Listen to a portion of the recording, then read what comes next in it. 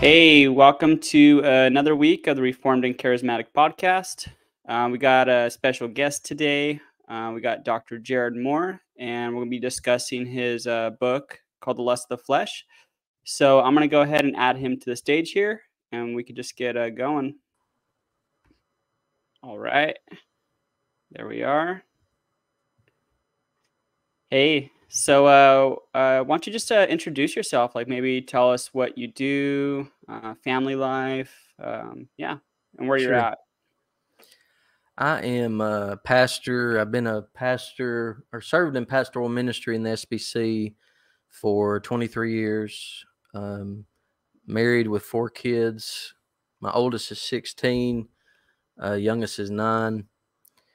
And um, I got a uh, PhD from Southern Baptist Theological Seminary um, in systematic theology in 2019. And I wrote my dissertation on concupiscence, which is just evil desire within us. And uh, I particularly focused on same sex attraction. And so my book, The Lust of the Flesh, is a um, it's a laity version of my dissertation.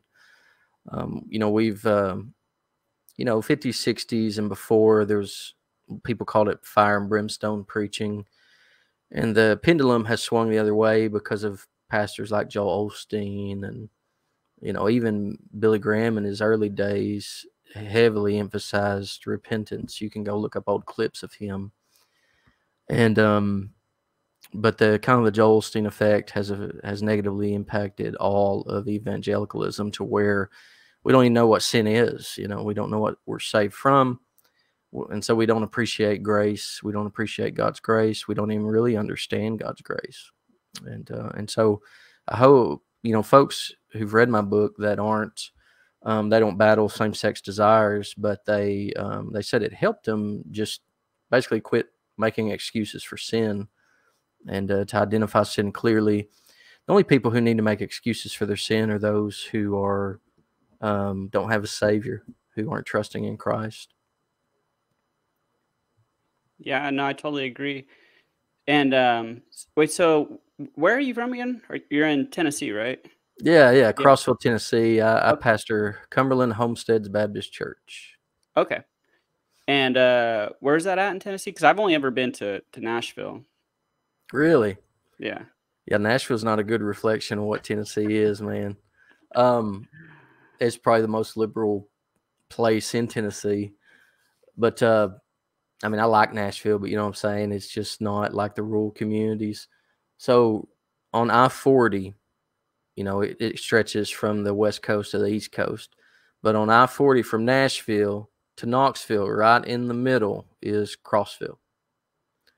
So Knoxville's in, uh, probably the third or fourth uh, largest city in Tennessee. And uh, it's probably two hours uh, east of Nashville. So right in the middle is uh, Crossville. Okay, yeah, I have some friends um, from this area that just moved to Knoxville. Um, well, cool. I think it's one of the um, outside, like the ones outside of it, Marysville, I think it is. Yeah, Maryville.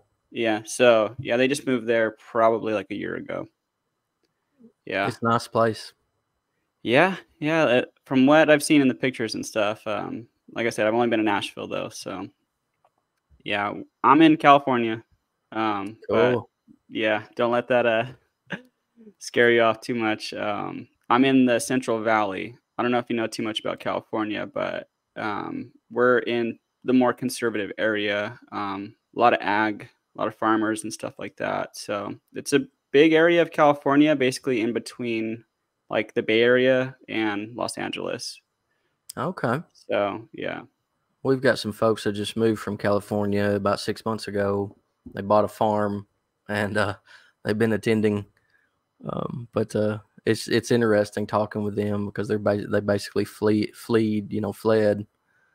And yeah. No, that was the same story with our friends. Um, but uh, God has not called us out of here yet. So uh, Sure. yeah, we're it's a big mission field, man. People, I don't know. They just think with their feelings. You know, they don't think logically, biblically. They think logically about money, but Yeah. n- not with um, not with anything political. It seems it's just uh, Well, I mean, they're whether you're Democrat or Republican, there are Republicans that live on, you know, they're foolish as well.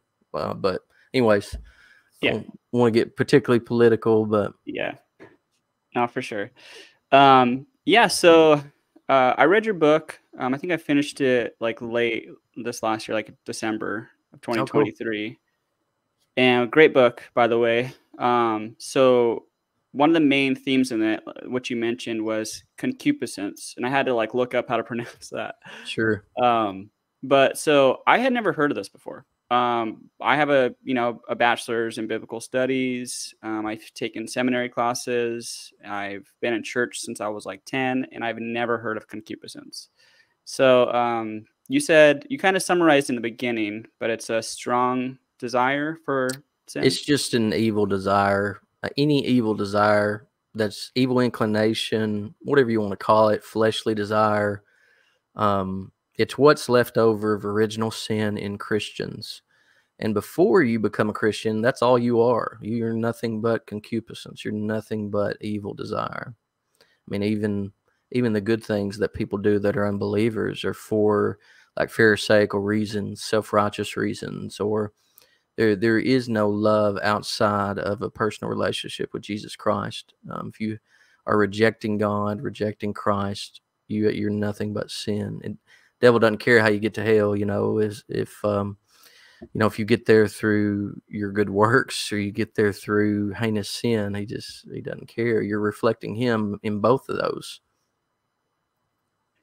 Yeah, and um, I, I so I what I liked about the book too is it really traces the this idea of concupiscence from like the early church fathers like Augustine all the way through the reformers, which you, I think you did a really good job on. Um, but where do you think that got lost along the way? Like, why did we forget about this? I think it was an overemphasis on grace, an overemphasis on God's love, and then with the, with the culture shifting and changing what love is. Um, you know, it's not First Corinthians 13, 4 through 8, um, where love doesn't rejoice at wrongdoing, um, is, is one of the aspects of love. Love is tolerance today. And so, folks, that's what they think love is. Um, they think God tolerates us or loves us because we're lovely. Uh, there's no, there's very little preaching on sin. There's very little preaching on God's wrath. Um, people, people don't know that they're children of wrath, and uh, pastors need to be preaching. If you're preaching 50% love, you need to be preaching 50% God's wrath.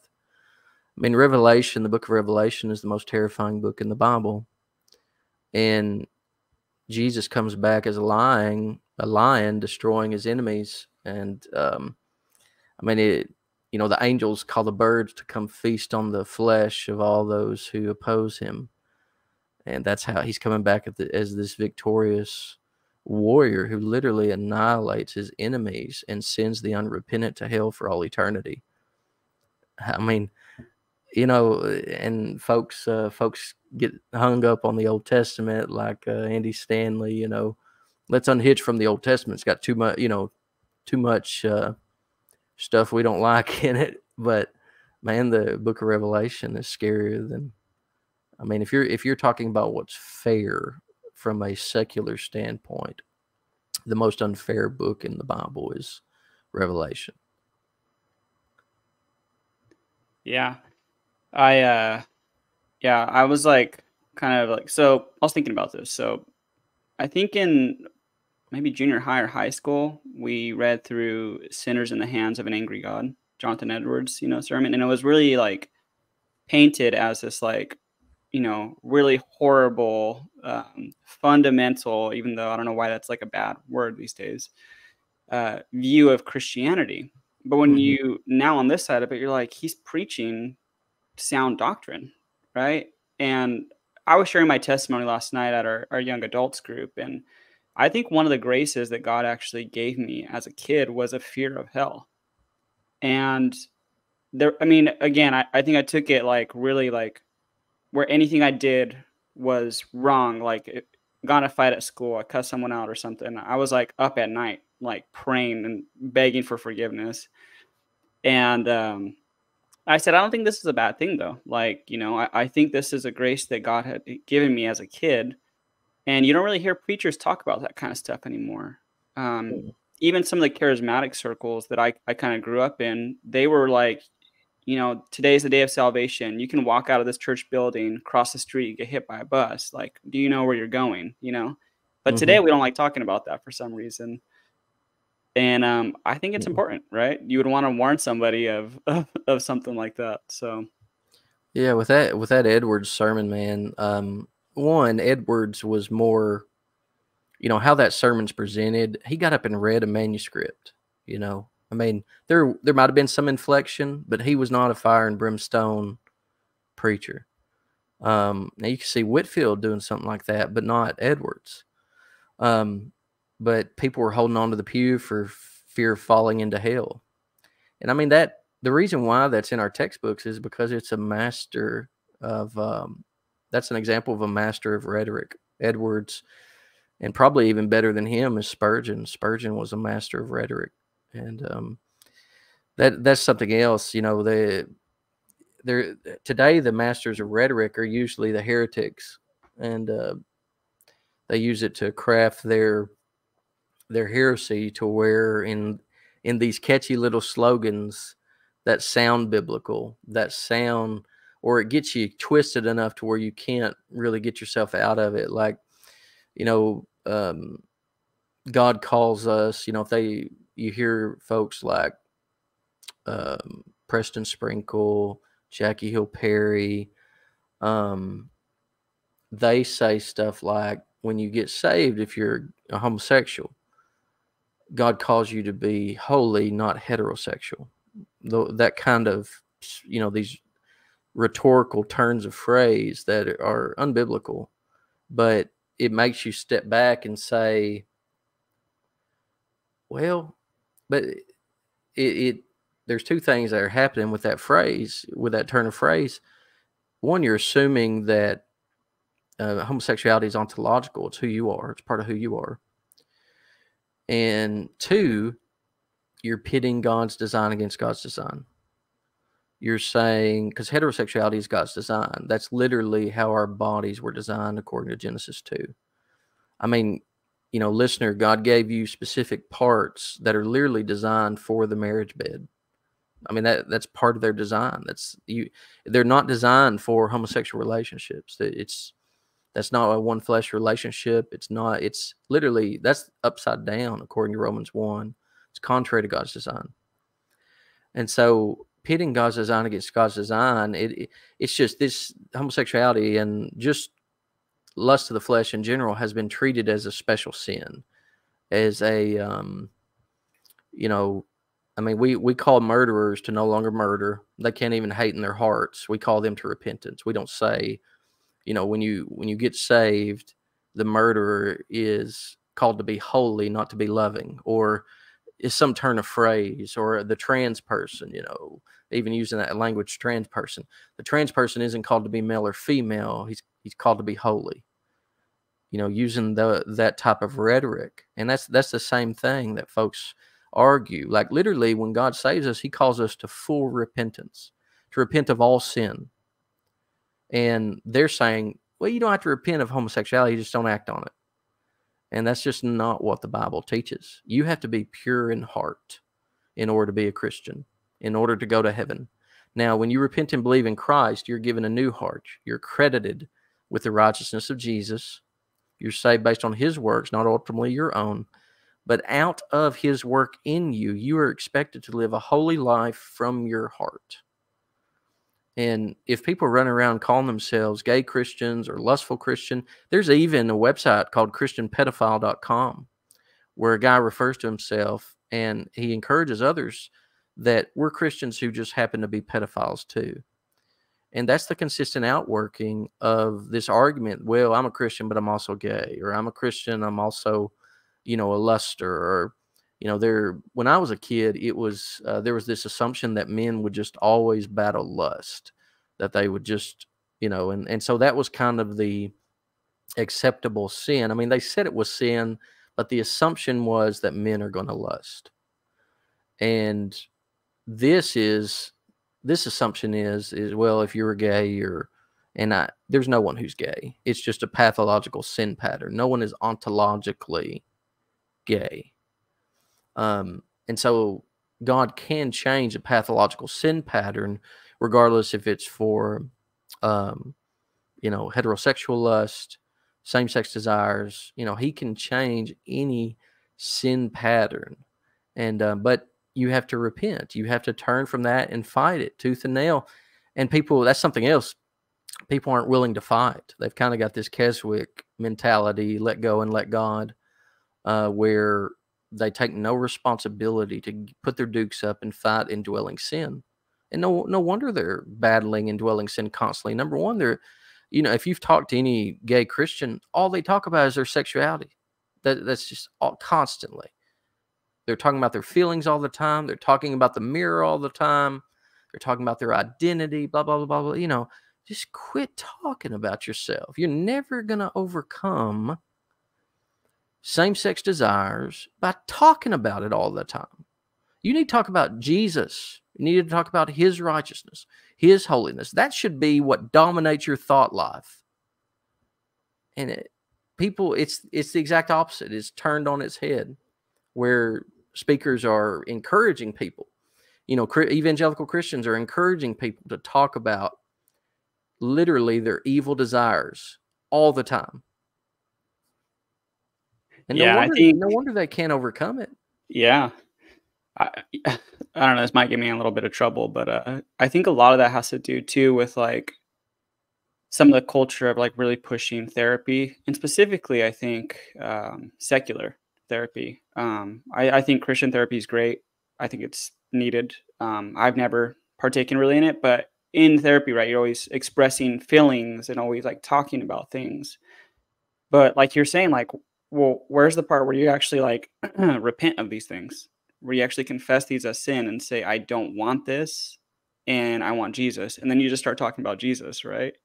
Mm-hmm. Like there's none of that. Like it's just overly communicating uh, your sin because they think yeah, that's like healing constantly. it people thinking about they think about themselves all the time they're encouraged to think about themselves all the time they literally they have two identities and, and even folks who say well it's not my identity when they stand up and talk they're, they'll they won't say I'm a gay Christian. They'll say I'm a Christian who is same sex attracted or who experiences same sex attraction. Like who talks like that? Nobody in the Bible talks about their sin that way you don't see Paul saying, I experience the flesh. He says, with the flesh, I serve the law of sin in Romans 7. That's how Paul talks about his flesh. He doesn't experience it.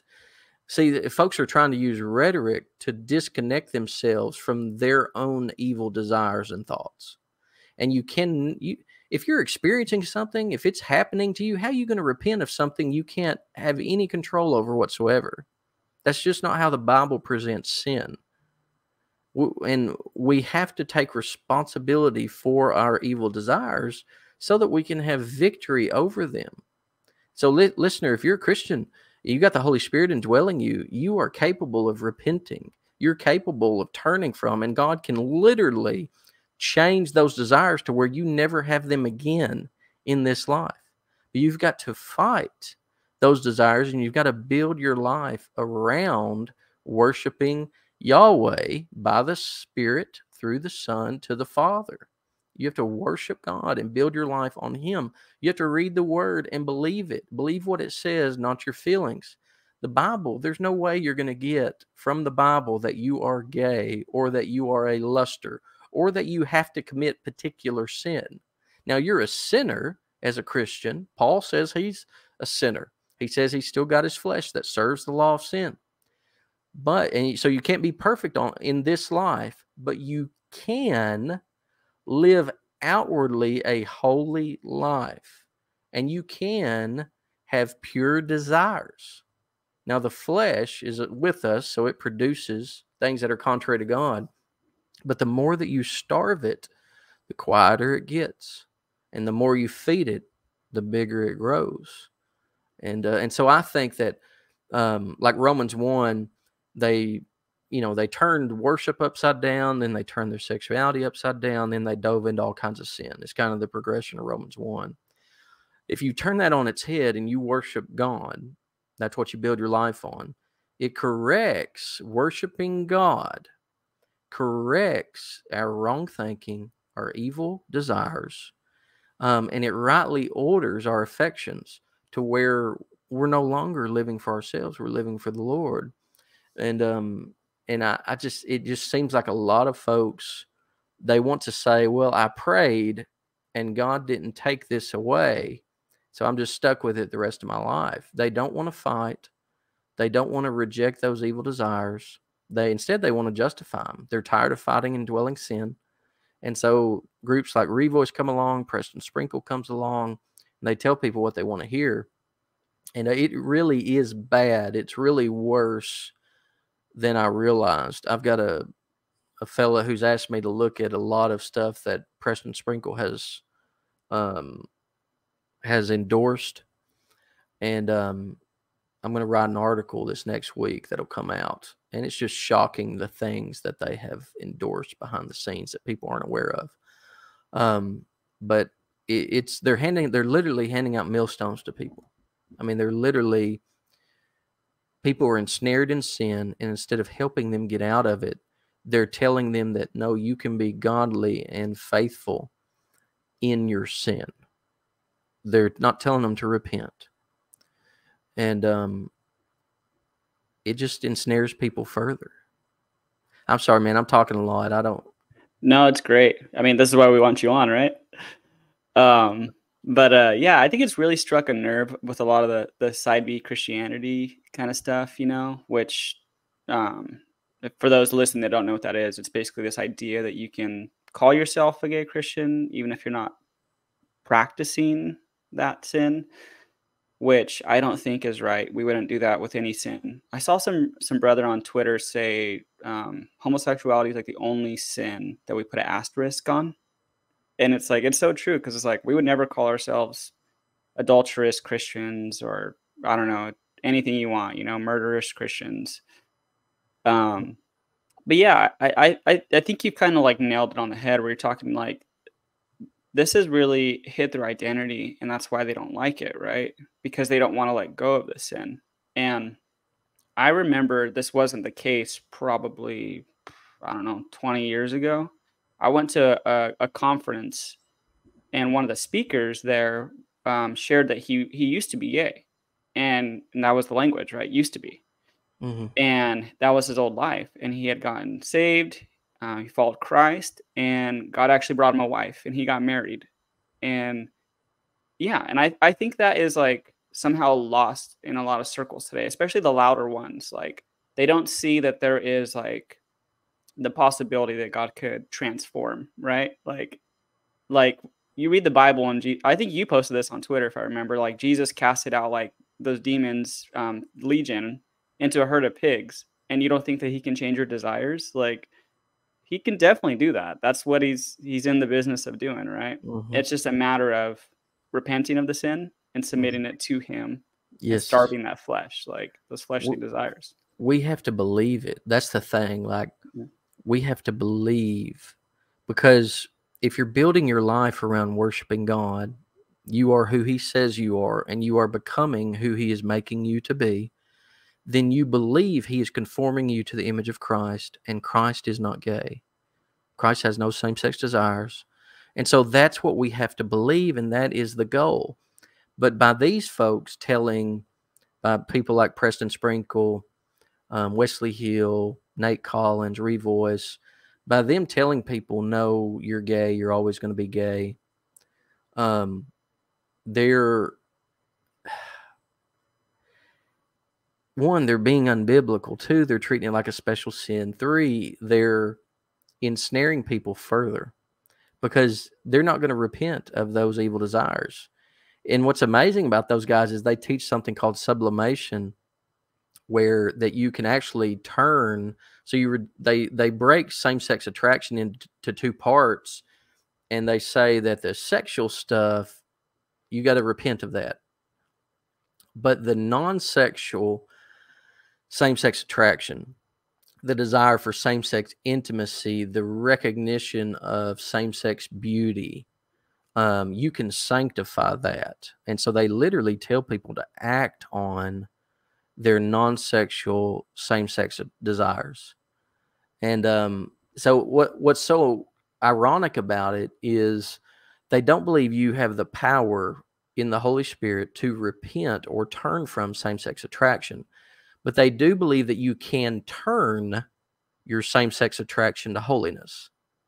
So explain that to me. Explain to me how someone can't turn from it, but they can turn it.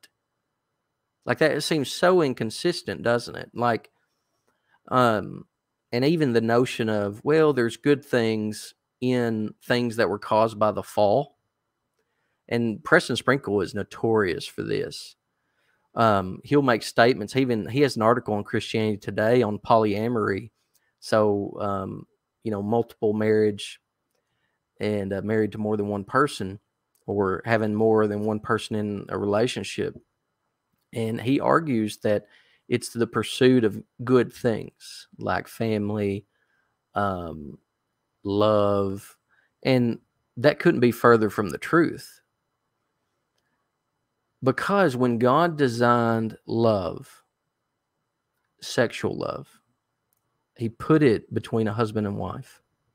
And if you say, No, I, I desire love, like just I desire love, and so I'm seeking out same sex relationships, or a married man saying, I desire love, my wife isn't loving me properly, I'm going to go pursue my mistress. It is not a good thing that he's pursuing, not in any shape or form. And these guys, they they're again, they're masters of rhetoric. They're heretics. They're masters of rhetoric, and they can turn a phrase. Um, but if you just look at the Bible, if you just look at God's word and realize, well, when God designed love, he did not create this innate desire in man for any kind of definition of love. You know, the the pedophile that seeks out a child is not seeking out some form of love. I think we'd all agree.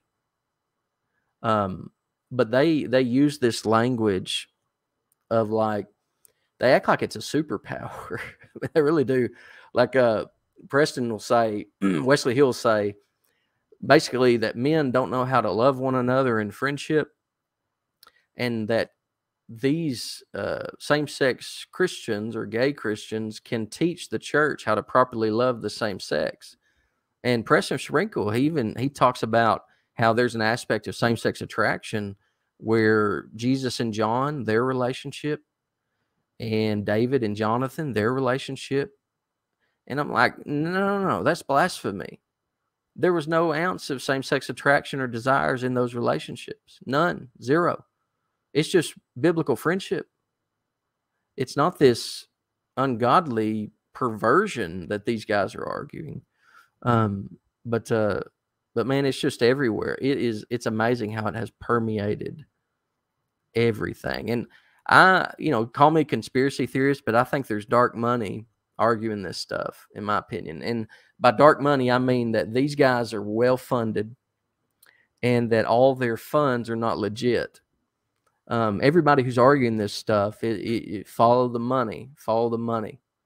And uh, because think about it, like if uh, let's say that all same-sex people who have same-sex desires start pursuing opposite-sex marriage, well, then Preston Sprinkle's ministry falls apart. Uh, Wesley Hill's ministry, Nate Collins, Revoice, it dies. Their ministry dies. All these people who are traveling everywhere and speaking at these conferences, the only thing that qualifies them to speak largely is that they have same sex desires. Still, they have unrepentant sin in their heart. And so it qualifies them to speak on this subject, which that's the only sin, you know, like if we're preaching against racism, we don't bring in a racist who still has the desires. We don't bring in, you know, preaching against murder. We're having this anti-murder conference. Let's get all the. Wait, wait. Do you desire murder in your heart?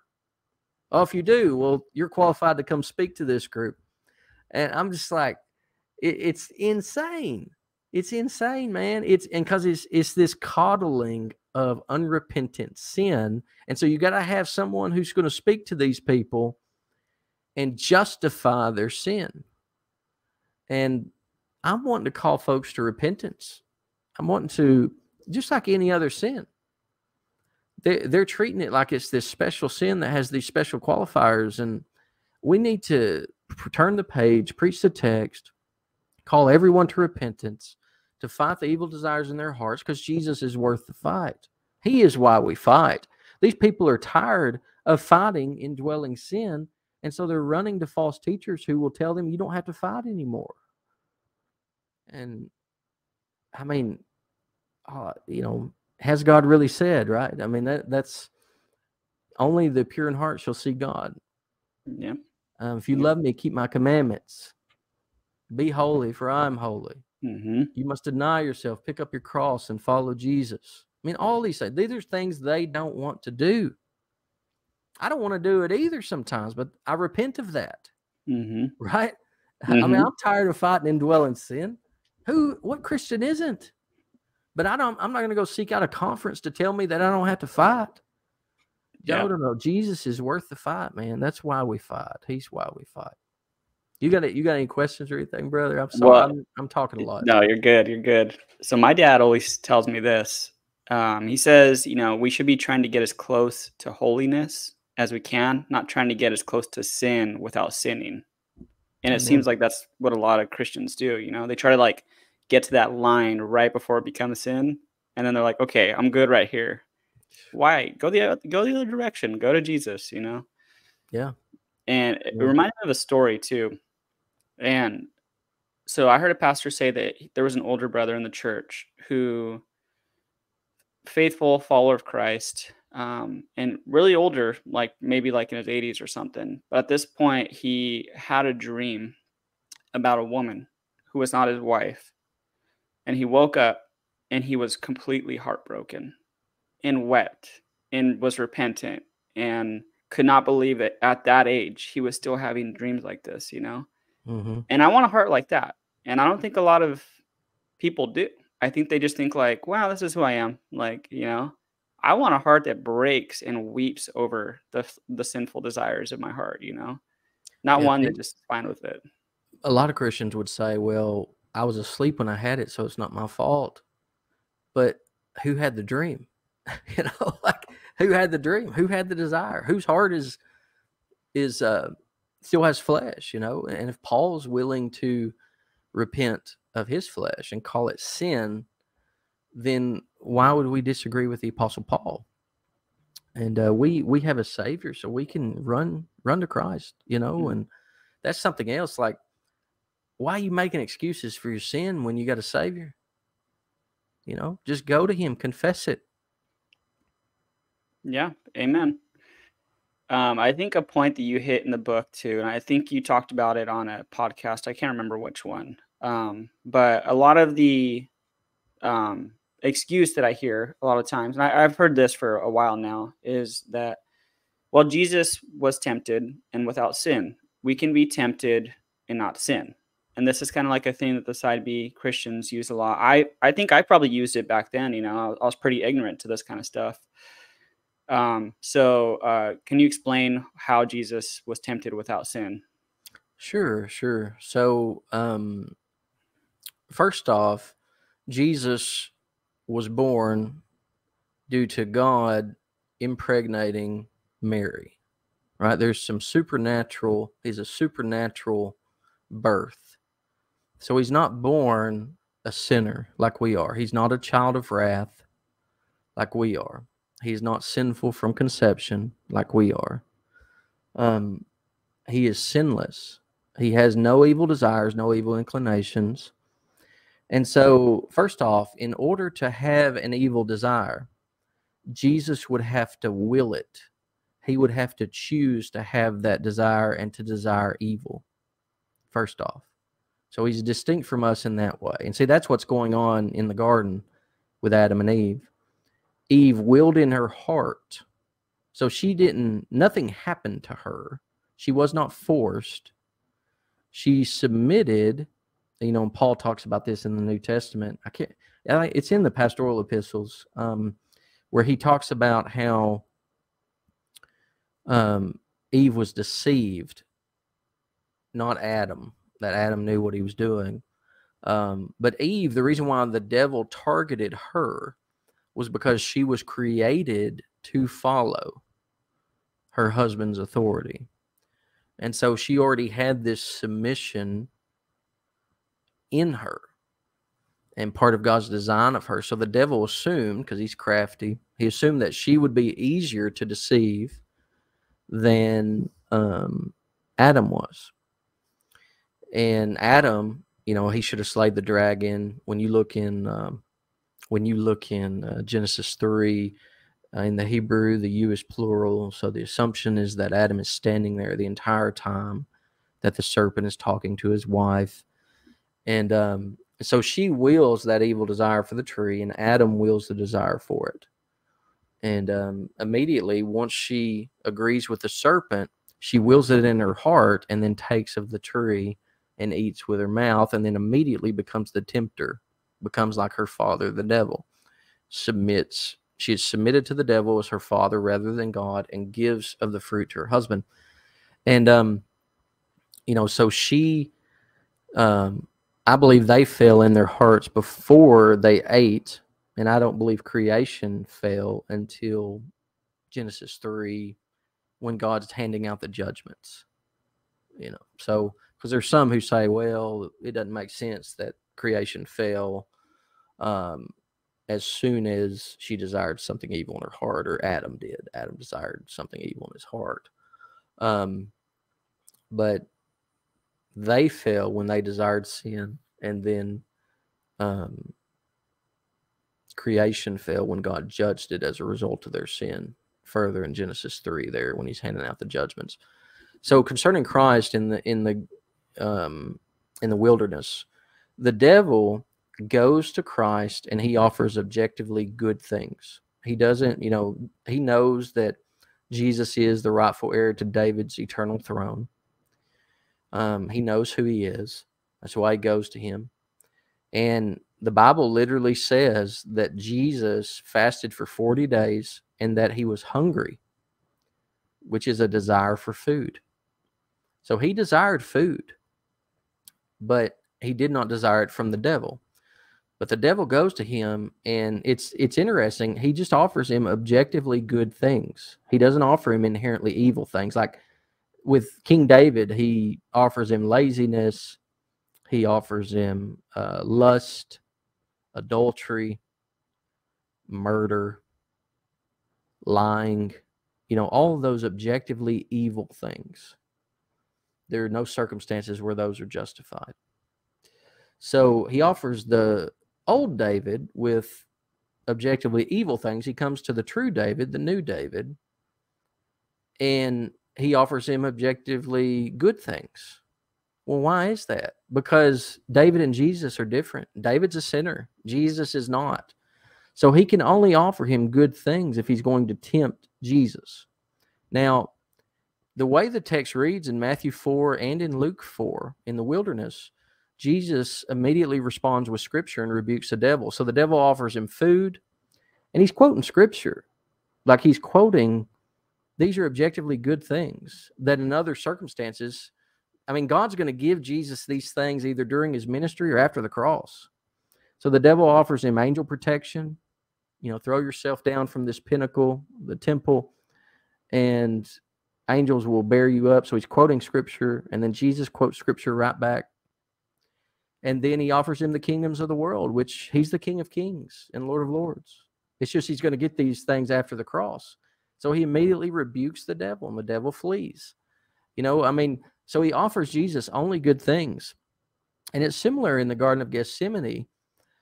Um, in the Garden of Gethsemane, Jesus prays for the cup, if it be possible, for the cup of wrath to pass from him, but not his will, but God's will be done folks point to that and say Jesus, you know, like Matthew Lee Anderson argues this, that Jesus desired to disobey his father in the Garden of Gethsemane. But that's not what the text says. The text says Jesus literally prayed, and Luke sums it up in Luke 22 42, I believe, where he says, um, he says, If it be your will, let this cup pass from me, not my will, yours be done. So he wants to do his father's will, but he doesn't want to drink his father's wrath. And here's the thing if Jesus is holy he shouldn't want to drink his father's wrath. Like that's literally something he should not want. He should not want to die. He should not have a death wish. He should not want to be beaten, be scourged. Um, he shouldn't want any of those things. He shouldn't want to become sin.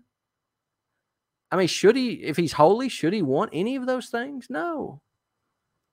But he should want to do his father's will, which is exactly what he prayed. So if you ever have difficult providence, look at Jesus and see how he dealt with difficult providence. Like I shouldn't want, you know, my mother died of Parkinson's. I shouldn't want her to die of Parkinson's. I shouldn't want her to have Parkinson's. But I should want God's will to be done, and I trust him.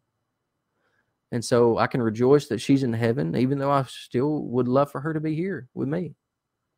You know, I mean, we understand this with other things, but for some reason, people have latched on to Jesus's temptations to try to self justify by saying, I'm like Jesus. No one's ever had their sin taken away by saying, I'm like Jesus. Actually, the whole point of the, the Bible is you're not like Jesus. I mean, that, that's literally the whole point that we're not like Jesus. We need to be. We've got to turn from ourselves and trust in Him, and He will make us like Him.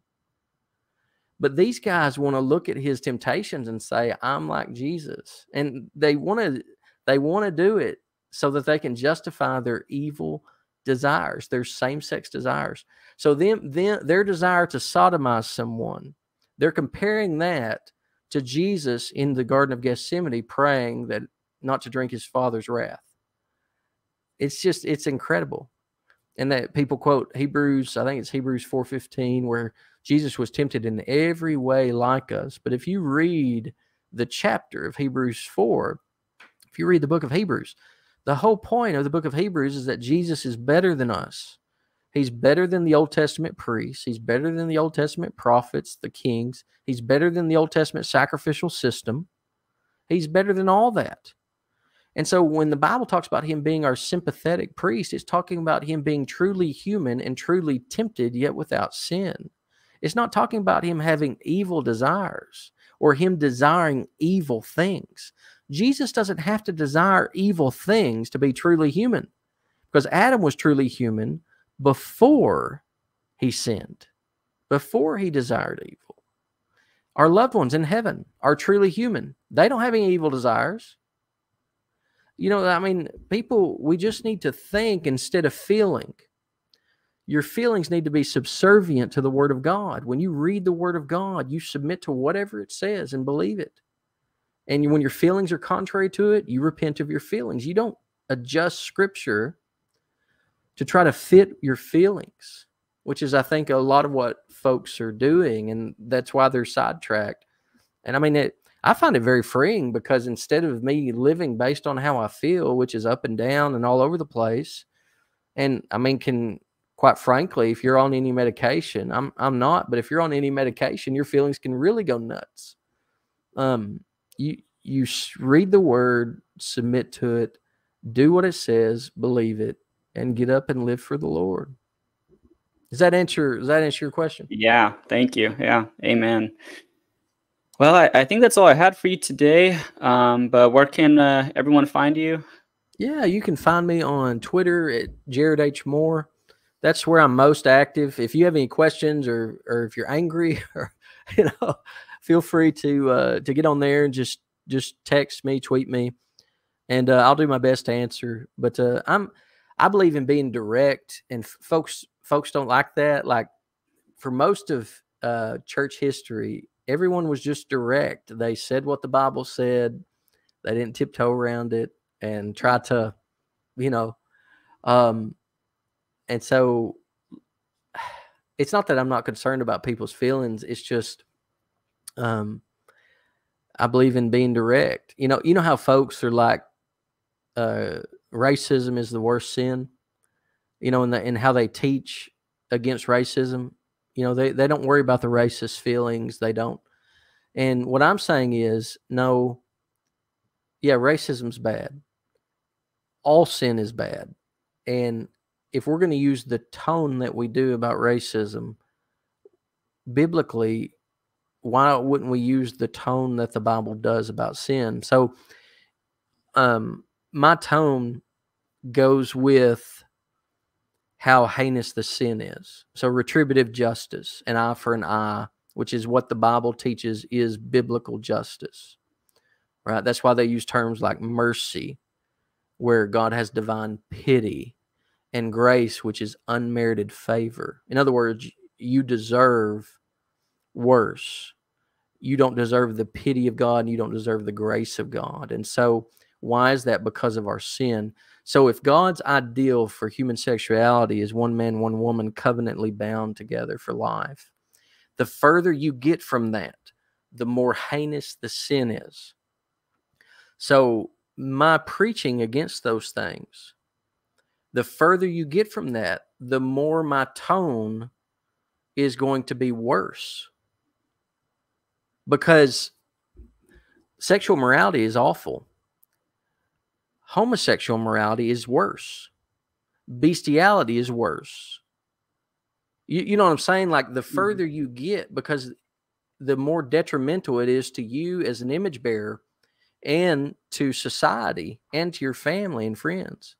But uh, and so um I guess what I'm saying is like you know, don't don't tone police me because I'm just going to ignore you and I may make fun of you because everybody wants to come hard against particular sins that are really bad in the culture. And I'm I'm trying to follow exactly what the Bible says and to use tone biblically in relation to how heinous the sin is. Um, but anyways, yeah, find me on Twitter. You can uh, find my book on if you want a paperback, you find it on freegracepress.com. If you want a, a Kindle, it's on Kindle, Amazon Kindle. And um, you know, if you read it, I'd love to hear your comments, questions.